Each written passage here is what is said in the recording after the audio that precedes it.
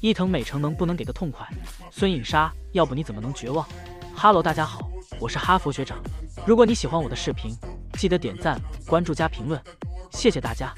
二零一九 T 二钻石联赛新加坡站女单决赛迎来两位零零小将伊藤美诚和孙颖莎的对决。孙颖莎半决赛战胜王曼玉，进入今天的决赛。伊藤美诚半决赛战胜韩国一姐田志希，进入决赛。值得一提的是，田志希八进四爆冷战胜了陈梦。首局双方就展开激烈争夺，从二平战至四平。孙颖莎也是多次战胜伊藤，但结果也不轻松。最让人记忆深刻的是二零一八瑞典公开赛女单决赛，孙颖莎也是苦战七局，决胜局孙颖莎七比十落后。实现逆转，让伊藤尝到了绝望的滋味。伊藤二零一八崛起，可以说是对中国选手的威胁最大。他的特点是反手生交，速度快，打出来的球比较沉，给对手极强的压迫感。伊藤还有一个特点就是调节能力非常强，就算一局被打得稀里哗啦，他也会想办法扭转被动局面，这实在有些可怕。你不知道他到底会有怎样的发挥。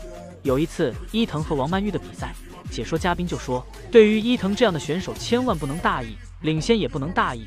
他的花招还是蛮多的。确实，陈梦有一次比赛就是九比一开局被伊藤逆转，所以孙颖莎还是要压住伊藤打，把他气势压下去，要不然伊藤这种想赢的欲望会特别强烈，打顺了也是打哪都有。首局孙颖莎还是有着明显的优势，十一比七赢下首局。第二局双方比拼的还是十分激烈。”尽管伊藤打得很凶，但孙颖莎还是可以扛住伊藤的进攻，这就是中国女乒的可怕之处。就算对手超常发挥，依旧无法突破女乒的厚度。第二局孙颖莎打得很轻松，十一比三赢下第二局。第三局伊藤还是采取搏杀。据说伊藤从小就有个梦想，就是长大能够战胜中国选手。伊藤的确也做到了。二零一八瑞典公开赛，伊藤八进四战胜刘诗雯。半决赛又战胜丁宁，决赛横扫朱雨玲，震惊乒坛。自从那以后，国乒就开始针对伊藤的打法进行研究，伊藤一度成为国乒主要对手。其实伊藤的强势崛起也是件好事，它促进了女乒更加强大。第三局伊藤强势反弹，六比一开局，伊藤抬手就打，这就是伊藤这回被他打顺了，怎么打都有。这就要看孙颖莎能不能及时止损。面对困难的情况下，能不能打出自己的节奏，加旋转打出裸点变化，抑制伊藤的快速上手。二比八落后的孙颖莎开始加旋转打落点，连得三分，也是逼迫伊藤叫了暂停。暂停回来，伊藤发球打出裸点，得分九比五领先。孙颖莎手握发球，如果孙颖莎拿下自己的发球分，还是非常有希望逆转这局比赛。孙颖莎还是没能拿下两分。一得一失，这样伊藤十比六手握四个局点。伊藤发球发了个半出台，孙颖莎拉球失误，伊藤十一比六扳回一局。扳回一局的伊藤在第四局就打出压迫性的球，快速拍打。孙颖莎也是扛住玉化解被动，还是被伊藤打出裸点得分。伊藤的气势分又给他带来一个运气滚网，伊藤取得二比零开局。孙颖莎顶住伊藤进攻，把比分扳平二比二。伊藤这局的落点控制非常到位。导致孙颖莎上手失误，伊藤也是不放弃。面对孙颖莎的进攻，严防死守。孙颖莎打出裸点，双方又战至四平。两个人都是进攻型选手，谁能打出刁钻的落点，有效抑制对手的进攻，就成了制胜的关键。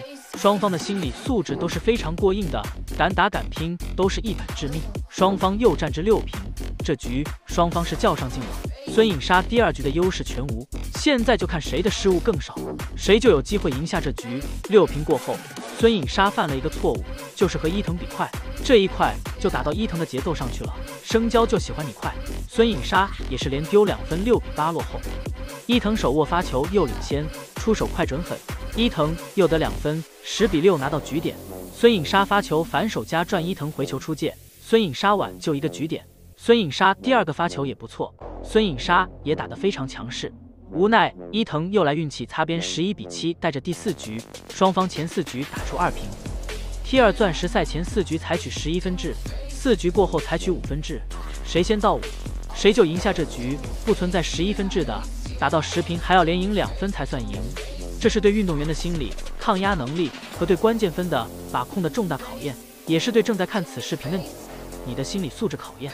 如果你看到最后心里没有任何波动，那恭喜你，你的心理素质绝了。伊藤连扳两局，气势也上来了，孙颖莎的优势也被缩小。孙颖莎关键时刻不手软，五比三拿下，强五大战首局，大比分三比二领先。第六局双方开局各得一分，一平过后，孙颖莎发球，伊藤贴住，孙颖莎反拉，伊藤快弹打出节奏，孙颖莎反拉失误，伊藤运气不错，又出现擦网，孙颖莎二次发力失误，孙颖莎被动一比三落后，孙颖莎重拾信心，强势反攻，又把比分扳平。三平过后，双方又展开落点攻防大战。孙颖莎侧身加力打落点失误，比分来到三比四。伊藤发球，两人又打出精彩对攻。伊藤还是在节奏上压制了孙颖莎，伊藤五比三扳回一局。双方前六局大比分打成三平，来到第七局决胜局的大比拼，可以说伊藤拼得非常好，也是给他带来多达三个运气球。第七局双方这心理素质绝了，都是一板过，伊藤二比一领先。孙颖莎发球果断出手，两板正手抢攻，双方战至二平，双方都不示弱，上手就是致命一击，双方又战至三平，胜负难以预测。考验大心脏的时候到了，伊藤打破僵局拿到赛点，这把压力给了孙颖莎。孙颖莎发球顶住伊藤进攻，一板漂亮反拉把比分追平四比四。伊藤握有发球权，伊藤发球侧身扣杀，不过这球出界了，孙颖莎再次惊险胜出。伊藤每每关键分领先。又握有发球权，却赢不下比赛，输了球的伊藤也是心有不甘。但孙颖莎就是喜欢这种刺激的比赛。球迷们，你们说伊藤这回是不是有了心理阴影？球迷们，你们还喜欢看谁的比赛？评论区留言，我随时为你们奉上。我们下期见。